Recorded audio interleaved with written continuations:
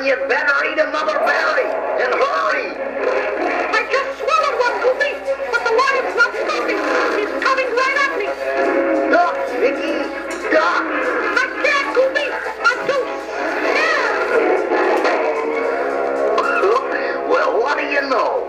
That lion jumped over your head and banged his head against a tree. He's out cold. See, Goofy, there was really nothing to it.